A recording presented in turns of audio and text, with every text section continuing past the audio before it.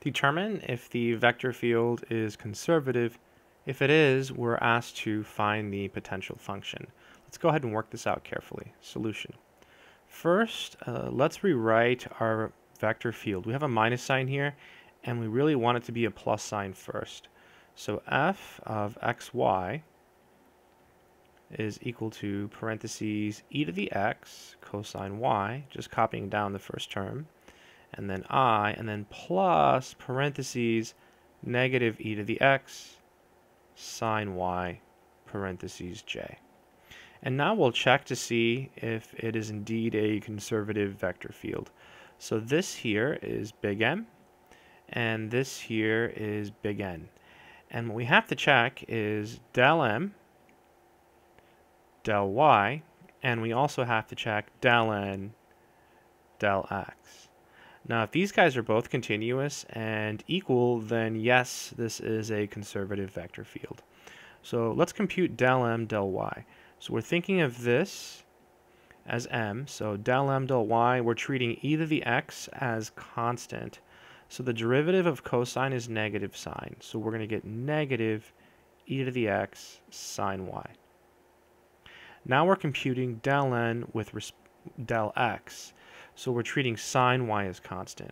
So the derivative of e to the x is just e to the x, so we get negative e to the x sine y. So both of these guys are continuous. And we have that del m del y is equal to del n del x. So the answer is yes. It is a conservative vector field. So that takes care of the first question.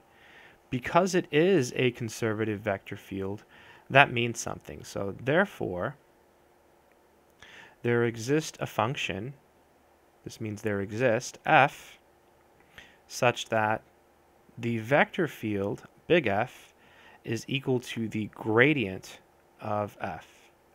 And if you forgot what the gradient is, in this case, it's del f del x i plus del f del y j. So all we do is we take del f del x and we set it equal to this, and we take del f del y and we set it equal to this. So really that's all you do. Whenever it's conservative, this is your del f del x, and this is your del f del y. And then to find the potential function, you just work with these. Let's go ahead and do it carefully. So we have del f del x, that's equal to e to the x cosine y. And we also have del f del y, and that's equal to negative e to the x sine y. And now we'll carefully integrate. Uh, we get to pick which one we want to integrate. Um, let's see, which one should we do? How about we do the first one? So f of xy, we're integrating this one here. So we're integrating with respect to x. So the integral of e to the x is e to the x, and we treat the cosine as constant. So this is simply e to the x cosine y. And now we have to add an unknown function of y. So we'll call it little g of y. Right? Because whenever you integrate a partial with respect to x, um, you have to add an unknown function of y. So we've used this condition, so done with this one. Now we have to use this one. So what we'll do is we'll take f and we'll compute the partial. So I'll do it over here. So del f del y, computing this partial here, well, the derivative of cosine is negative sine. So this is going to be negative e to the x sine y. And then the derivative of little g is just little g prime. So g prime of y. And in order to fully use this condition, we have to set our partial equal to this. So this is equal to negative e to the x sine y. And you'll notice these cancel, so we end up with little g prime of y equals 0. So therefore, g of y is equal to a constant k. So now we can write the final answer down. So the final answer,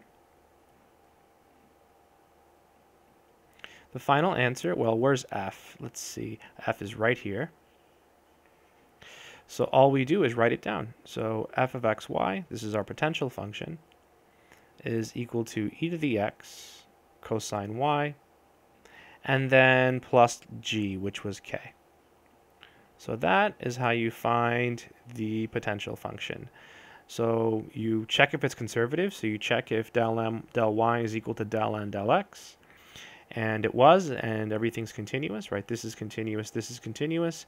What does that mean? That means there's a function, a little f, called a potential function, such that the vector field is equal to the gradient of the potential function. So basically, you just set this equal to del f del x, and you set this equal to del f del y, pick one, integrate, and then differentiate and use the other one, and go from there. I hope this made sense.